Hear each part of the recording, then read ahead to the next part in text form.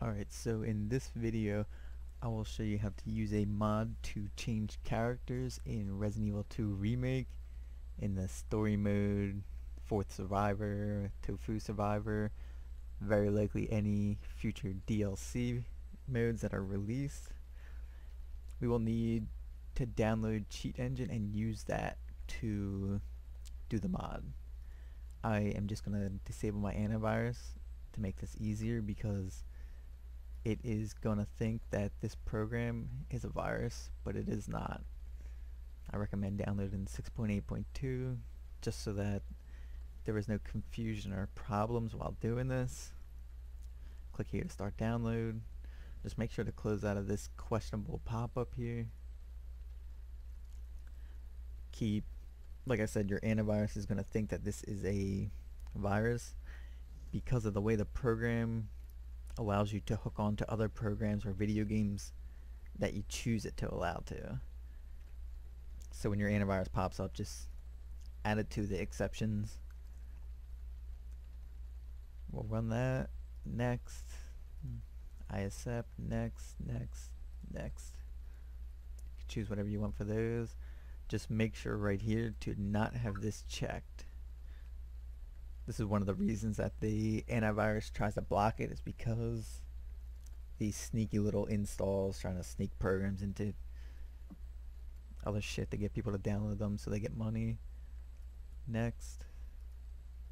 Install. Next once more. I'm just leaving those checked because I'm doing a fresh install. Thank you page. Alright. Now let's launch Cheat Engine. Next you need to load Resident Evil 2. Go ahead and start that. After that loads, just leave it at the main menu like right here, like it shows. It's a lot easier to do it when it's in windowed mode. It's quicker switching back and forth. After you're done the edits, you can always just switch back to full screen. I'll make this bigger so it's easier to see. Alright. So we click this select process, highlight Resident Evil 2, click open. It's not going to really show any of the changes. Click memory view. Let me make this bigger.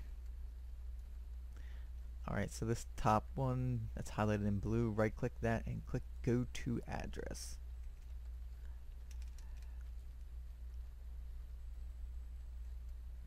Oh. This address right here. I'm going to copy and paste this in the description and comments. This is the address for the, the US version. There's a different address for the Japanese version.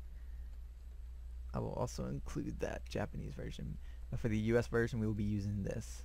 Just type that in there, copy and paste it in there, whatever.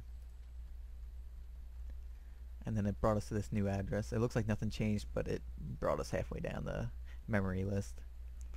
We're going to right click the highlighted blue, click toggle breakpoint. Click yes. Now it is everything's usable. I'm just showing, I'm using a controller right now. As you can see that right there. So we're going to do it in the 4th Survivor. And then as soon as you click this, it's going to freeze at 0%. We can't see it because of the way the window is right now, but it's frozen right now. We are going to go back to here, and you'll notice this new boxed area we're going to click on RDI. Make sure to not change anything over there. Just once click RDI and this is the character. The, the character 4 is for Hunk, 0 is for Leon, 1 is for Claire, I believe 2 is for Ada. I'm going to put a list of them in the description or comment, wherever I choose to put it. But I am going to use Marvin, and Marvin is D click OK. If you're on the US version, after you click OK, make sure to press the X. It looks like nothing happens, but something happened. After that, right click the green bar, click toggle breakpoint, and then press F9. And the game will no longer be frozen. And once you get into the game, you will now be Marvin or whoever you chose to be. I'm just going to skip this.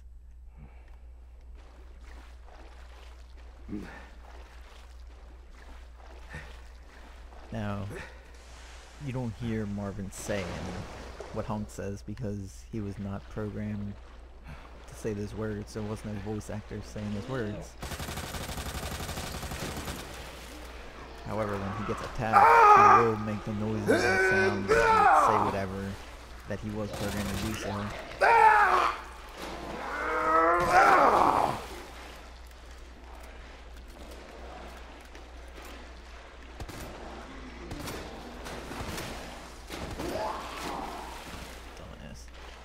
Alright, that is it.